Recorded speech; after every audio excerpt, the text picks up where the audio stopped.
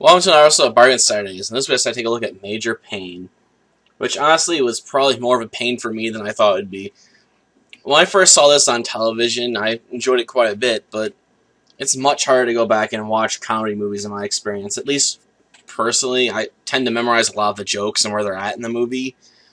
So going back and watching comedy movie can be rather tedious because even though the movie itself might be funny in my opinion, it's not a movie that has a lot of um lifespan with me, so I don't know if I'll ever watch this again unless it's years down the road and I've forgotten most of the scenes and jokes from it that are most memorable. It's not a bad movie if you like a character that's very sarcastic, but at the same time, Major Payne's voice can definitely be grating. So if you don't like characters that can border on annoying or be outright annoying, you're probably going to want to skip this one, to be honest. In fact, uh, my advice would probably be just watch like the first 10-15 minutes of this movie, and if you don't like what you're seeing, just stop because it's not gonna get any real different from those first 10 or 15 minutes.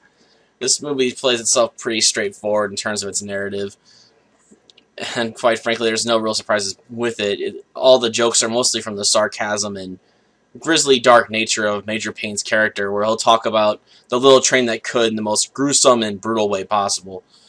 To the point some would argue it's inappropriate, but that's why it's funny albeit that joke doesn't last very long if you've heard it more than once or twice. Mm.